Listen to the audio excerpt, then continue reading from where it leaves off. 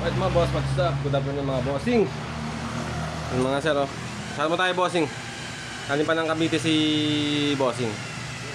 Hindi mo masama yung panahon pero hindi pa rin si bossing. Dumayo pa rin dito para magpa-gawa ng motor niya. Ito yung set na gagawin na rin dito kay bossing. S1 Forge Brake Master mga boss. Tapos kulay red na caliper yung i-install natin dyan. Naka-RCB na white na si bossing.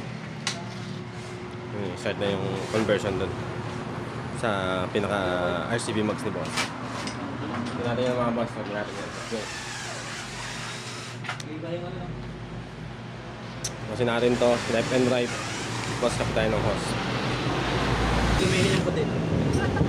Yan mga lods, uh, start na natin na butasan yung mags natin mga sir. After natin butasan yan, syempre i-red natin yan para doon kakapit yung ating pinaka bolts para dyan para mas matibay mga sir. Then dito sa pinaka front, installed na rin yung ating S1 Forge Brake Master. Syempre meron tayong mga tatabasan dyan.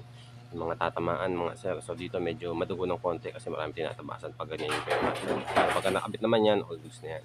Then dito sa likod, install na rin yung pinaka swing arm natin with bracket. Yung disc, install na rin yan mga ano, yan, sa pinaka-rear natin mga sir, yan. Yung red color yung i-install ni bossing na caliper dito sir. Siyempre, ah yan, ipapalitan natin yan ng bracket para mag-shoot yan dyan sa pinaka-wing arm natin na bracket mga sir. Alright, yan mga sir, kitang-kita nyo naman. Malinis na malinis mga bossing.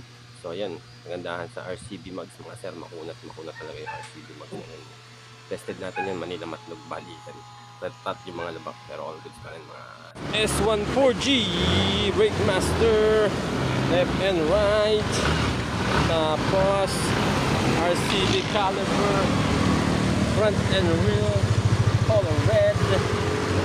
Okay testingin natin. Maulan. Aeros Red from Imos Cavite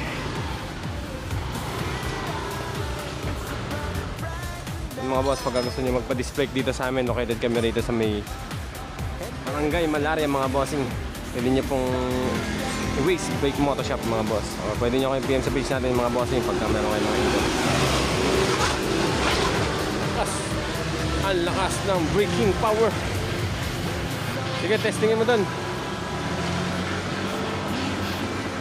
Solid talaga yan. RCB na mag-skunat yan.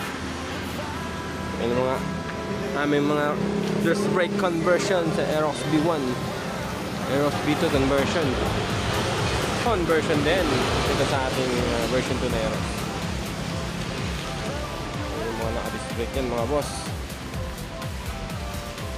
Ito nakarating na ng Bacolod to. Balikan. Sa Bacolod tinesting to eh. Ang! Sir, testingin mo para mapil mo lang yung preno.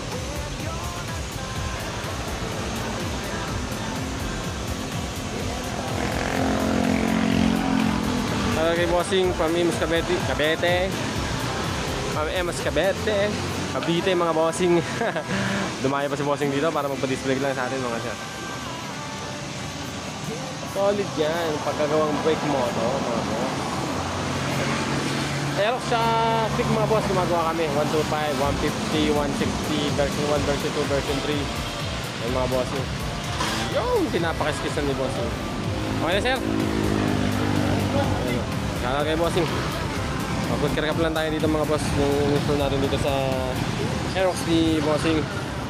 Complete set ng rear disc brake conversion sa pinaka-likod. Yun ako ano eh. Tapos sa harap caliper din. Tapos S1 Forge na brake master mga sir. 14M. Right? Wait mo ito mga boss.